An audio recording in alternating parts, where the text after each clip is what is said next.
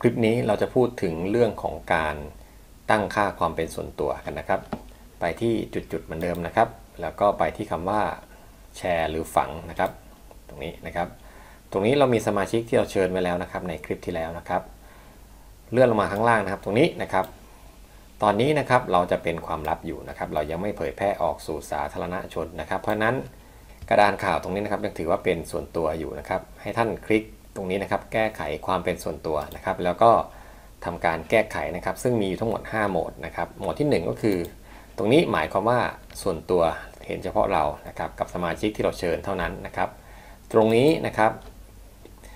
ซ่อนจากสาธารณะนะครับ แต่ว่าคนที่จะเข้าเนี่ยจะต้องมีรหัสผ่านในการเข้ากระดานข่าวด้วยนะครับ ตรงนี้ถือเป็นความลับนะครับ จะมีบางคนเท่านั้นที่จะเข้าได้นะครับที่เราอนุญาตนะครับ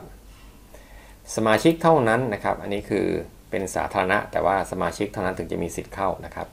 ส่วนตรงนี้นะครับเป็นสาธารณะเลย ทุกคนสามารถเห็นได้หมดนะครับ ก็แนะนำว่าให้เป็นสาธารณะไปเลยนะครับ จะได้สะดวกในการทำกิจกรรมกับเด็กนะครับ ส่วนตรงนี้นะครับอนุญาตเฉพาะให้อ่านได้เท่านั้นนะครับ ตรงนี้นะครับพอนะครับโอเคนะครับ ตรงนี้ถือว่าเป็นการแก้ไขความเป็นส่วนตัวนะครับ บันทึกครับ แล้วก็ย้อนกลับนะครับ เรียบร้อยนะครับ เพียงเท่านี้นะครับ เราก็จะสามารถเผยแพร่ได้นะครับ กดปิดครับ ลองทำดูครับ